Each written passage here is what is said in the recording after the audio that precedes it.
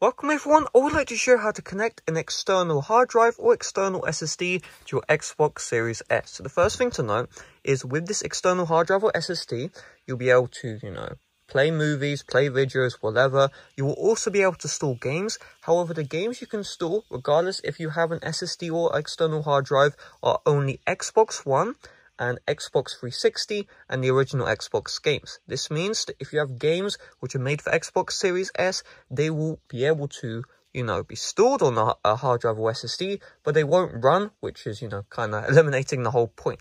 So the first step is you just want to make sure that the end uh, cable right here is USB Type A. So if you have an external hard drive or SSD, where the port uh, which is used is USB Type-C or any other port, you will need to get an adapter which converts the uh, input to USB Type-A. Once you have this, you see on the front of the Xbox Series S, there is a little USB cable here, uh, port even, you can plug it into there, your external hard drive or SSD. But also on the back as well, you have two other ports which you can use.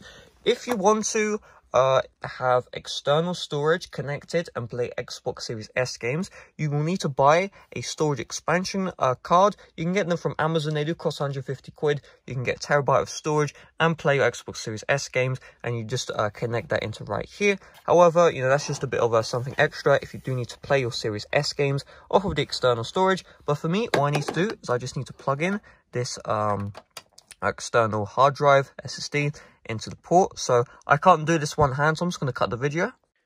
Now once this is connected, uh, you if you're doing this for the very first time, you will see a message. And what it will do is it will ask you what you want to use your external storage for. So if you want to use the external storage for media, you won't need to format the drive. If we're using it to store your games, you will need to format the drive and it will uh, walk you through the process, naming the drive, etc. So I already did that earlier to just mess around and you can see if you look at the all storage, it now says 968 gigabytes free when I have a 512 gigabyte Xbox Series S, so the external storage is recognized. Now if you want to copy over games, what you're going to do is follow me. Just hold uh, or press even the Xbox logo and then uh, click on My Games and Apps, seal, you want to go down until you see here, Manage, click on Manage, Storage Devices, you're going to see internal storage, you see 364 gig, and then my external storage, which is 900 gig. And all you're going to do is you're going to click on the internal storage, and you can see here, you can select install here by default. So uh, if you wanted to move all of your regular games, uh, the new games you install to your uh, external storage, you just click on this and then you'll have an option to install here by default if you haven't done that already. But I'm just going to click on this one here and I'm going to click on move and copy and now we can move our games from the Xbox uh, Series S internal storage to the external storage. Now keep in mind this is very important to know which is that once you've done this, if you have uh, copied over an Xbox Series S game, the game will not run. You can only copy, again, Xbox One, Xbox 360, and original Xbox games uh, for them to run. You can copy over, you know, the Series S stuff, but again, they just won't open, so it's kind of against the point. It's a bit useless. But we'll just select World at War. And you see here, copy selected and move selected.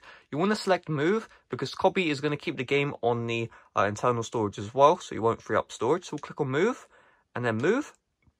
And what it's going to do now is it's going to move over Call of Duty World at War from my Xbox Series S's internal storage and it's going to move it over to my external storage. Now keep in mind when you do this you're going to have worse load times and the main reason why is because the SSD on the Xbox Series S is going to be faster than the external SSD or external hard drive which you have available. So that's just something to keep in mind.